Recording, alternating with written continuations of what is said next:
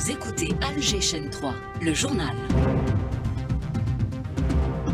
Bonjour Walid. Bonjour, mesdames, messieurs, bonjour. Au sommaire de la matinale de ce vendredi 29 novembre, le président de la République reçoit le ministre de l'Intérieur saoudien, le prince Abdelaziz Ibn Saoud. Le chef de l'État qui nomme par décret Samir Shibani au poste de Wali d'Oran et Kamel Hadji en tant que Wali de Sidi Bel Abbas.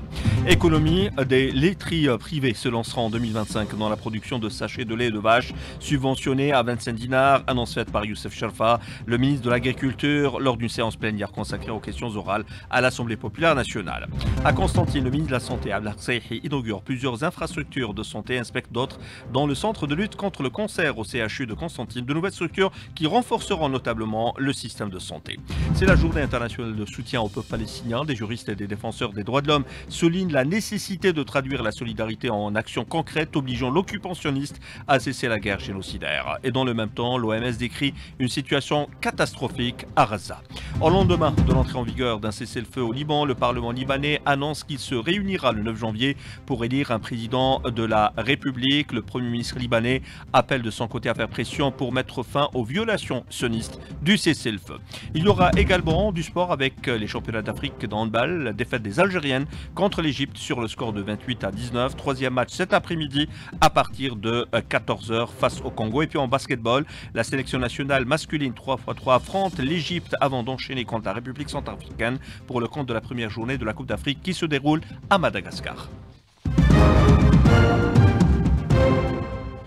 Mesdames, Messieurs, bonjour. Le président de la République, Abdelmajid Tebboune, a reçu hier le prince Abdelaziz Ibn Saoud, le ministre de l'Intérieur saoudien, et sa délégation. L'audience s'est déroulée en présence du directeur de cabinet à la présidence de la République, Boualem Boualem, et du ministre de l'Intérieur, Ibrahim Mred. Le chef de l'État euh, qui a signé hier deux décrets présidentiels euh, portant nomination de Semir Shibani en tant que wali d'Oran et Mohamed Kamal Hadji, wali de Sidi Bel Abbas. Nous vous le disions, riche page économique avec des laiteries tout d'abord, les laiteries euh, privées qui se lanceront en 2025 dans la production de sachets de lait de vache subventionnés. L'annonce a été faite hier par Youssef Chafa, ministre de l'Agriculture, lors d'une séance plénière à l'Assemblée populaire nationale. Plusieurs unités privées se lanceront en 2025 dans la production qui était limitée aux laiteries publiques jusqu'alors. La production de sachets de lait partiellement écrémés destinés à la vente au prix réglementé de 25 dinars à partir de lait de vaches frais. Toujours à propos euh, des questions orales à l'Assemblée populaire nationale, également auditionné le ministre euh, de l'énergie, Mohamed Arqab, s'est attardé notamment sur le développement du domaine minier à l'est du pays. Je vous propose de l'écouter.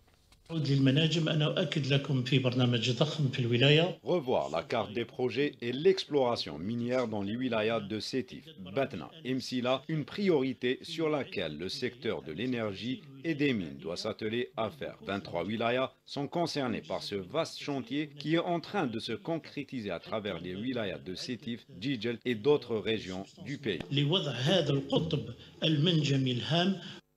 Et à propos du secteur de l'énergie, cet incident au complexe gazier d'Al-Rara Ilisi, Sonatrach qui rassure aucun impact sur le volume global de production.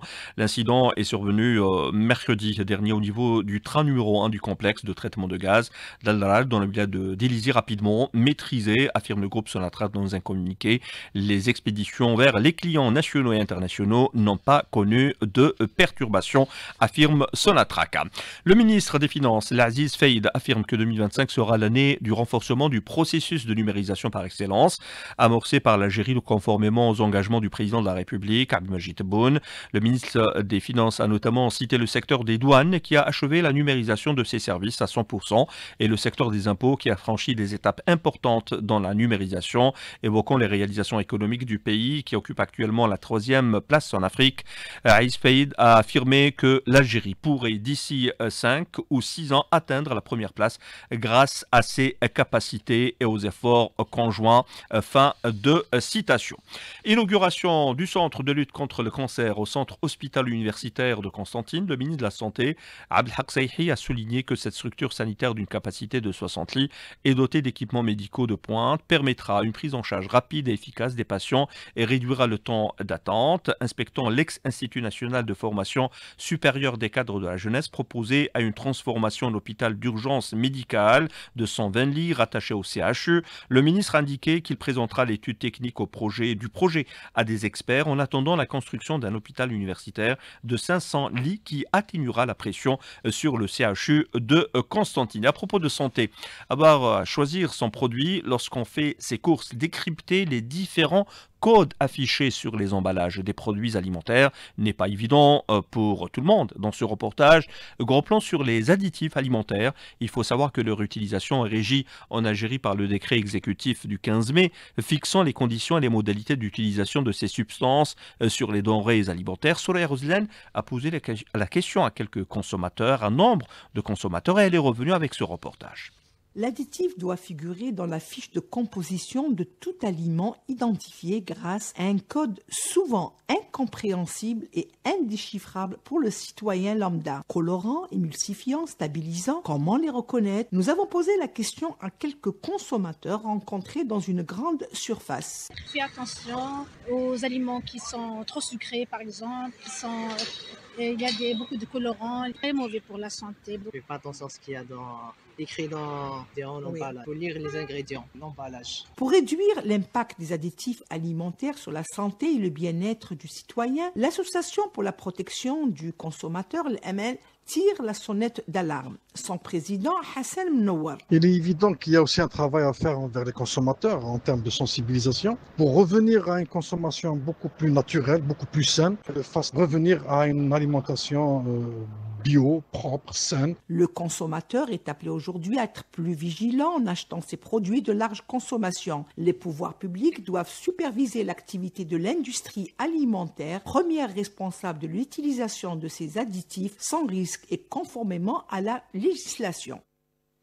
Lutte contre euh, la drogue, cinq individus ont été placés en détention provisoire suite à la saisie euh, de près d'un million de comprimés psychotropes de type prégabaline à Ouled Feit à Alger. C'est ce qu'indiquait hier un communiqué du parquet de la République près le tribunal de Sidi Mohamed. Il a été également procédé à la saisie de cinq véhicules de plus de 3 milliards de centimes, de montants d'argent de devise ainsi que de faux euh, billets, précise le communiqué. L'université Mohamed Sherif Messadia de Sogaras s'est enrichie d'un espace de l'étudiant innovant et de l'entrepreneuriat. Inauguré hier par le ministre de l'Enseignement supérieur et de la Recherche scientifique Kamal Badari, cet espace comprend un centre de développement de l'entrepreneuriat, un, un, incubateur d'entreprises, un bureau de liaison entre l'université, les entreprises et une maison de l'intelligence artificielle. Recherche scientifique, mais également le secteur de l'éducation. Le ministre de l'Éducation nationale a présidé hier l'ouverture d'une journée d'études sur l'utilisation des nouvelles technologies dans l'enseignement de l'histoire de l'Algérie. Un module a expliqué Mohamed Srir Sa'nawi euh, répond à Smaïl Mimoudi. Nous sollicitons l'aide d'experts et utilisons notre expérience pour approfondir la recherche sur la manière d'accompagner nos enfants dans la transformation numérique sécurisée intellectuellement avec des informations sécurisées à travers les institutions de l'État et en protégeant les données avec des informations correctes et en les présentant à nos enfants de manière scientifique pour concurrencer ce que nos enfants trouvent sur leur téléphone portable en termes d'applications afin de les protéger et de les préserver. Le ministre de l'Éducation, propos recueillis par Smaïl Mimouni. Il est 8h09 sur les ondes d'Alger 3. Une délégation médicale algérienne est actuellement à Raza. Elle est composée de sept médecins spécialistes venus apporter de l'aide à leurs confrères. Le chef de cette délégation, Dr Faisal Beljilali, raconte le drame de la guerre génocidaire à Raza. Il en parlait à Meriem Abdou dans l'émission Histoire en marche. On est une équipe de sept chirurgiens, différentes spécialités, neurochirurgie, traumatologie, maxillofaciale. Pour moi, c'est la deuxième fois que j'y suis en trois mois. Mais bon, c'était assez différent parce que la première fois, c'était dans l'hôpital indonésien euh, qui est plus au nord, à Jabalia. Là, il est hors service. Tous les hôpitaux du nord sont en service. On a été reçus dans l'hôpital Mahmadani, dans le nord, mais dans la ville de Gaza. Pour ce qui est du staff euh, local, euh, vous pourrez imaginer après plus de 400 jours de travail, avec un rythme très haut, des opérations à longueur de journée, des urgences à longueur de journée, des cas graves, compliqués, tout ça, en n'ayant pas assez de stock, de matériel, de médicaments, c'est vraiment un défi énorme pour hmm. le staff euh, local. Donc nous, on est arrivé euh, pour donner un coup de main. On a ramené avec nous euh, ce qu'on pouvait parce que là, il est interdit de ramener quoi que ce soit sauf les affaires personnelles. C'était le chef de la délégation algérienne euh, présente, euh, médicale présente à, à Dr Faisal Beljilali. Euh, il était interviewé hier par Mariam Abdou dans l'émission Histoire en marche sur le terrain. Cinq martyrs tôt ce matin dans des raids sur le camp de Nusayrat.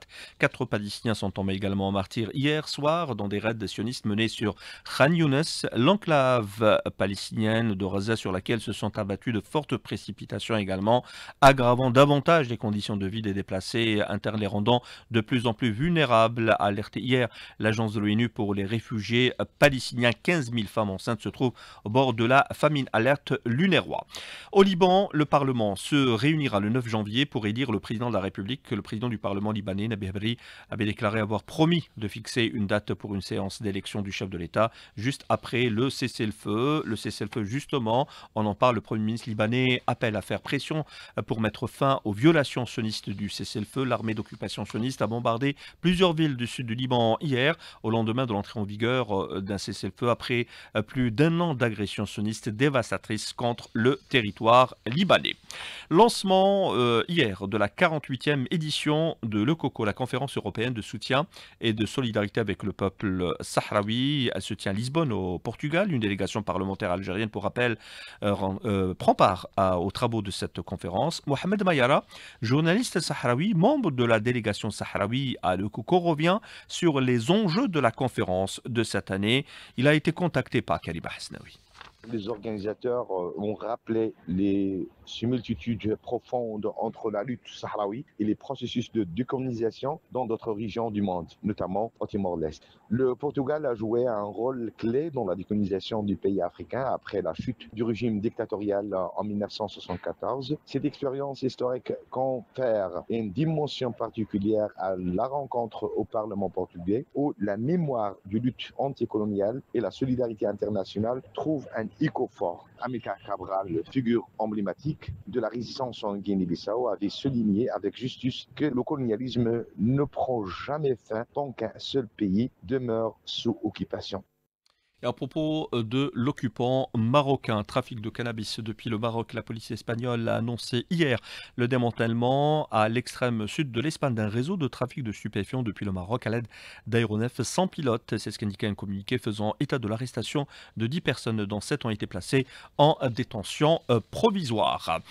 Et puis euh, du sport pour clore les pages de cette édition avec euh, notamment les championnats d'Afrique dans handball et défaite des Algériennes contre l'Égypte sur le score de 28 à 19. Troisième match cet après-midi à partir de 14h euh, face au Congo. Du basketball également, la sélection nationale masculine 3x3 qui affronte l'Égypte avant d'enchaîner contre la République centrafricaine pour le compte de la première journée de la Coupe d'Afrique qui se déroule à Madagascar. Tous les détails dans quelques instants dans Matin Sport avec Rostom Yahya Sharif. L'édition de ce matin a été réalisée par Sidali Djilali.